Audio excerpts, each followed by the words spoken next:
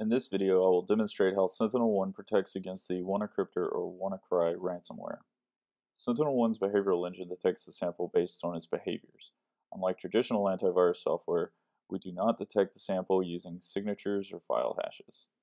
I will modify the hash of the sample by appending a random number to the end of the file.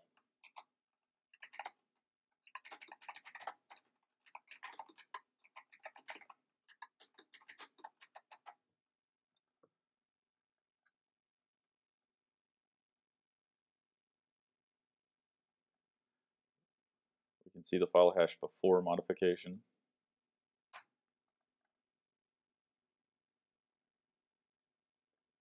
And after is changed.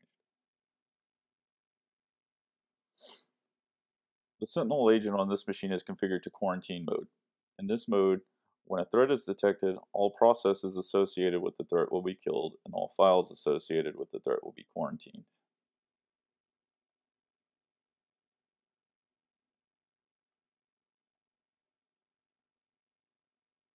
After launching the file, the behavioral analytics engine will monitor the process until it detects it as a threat.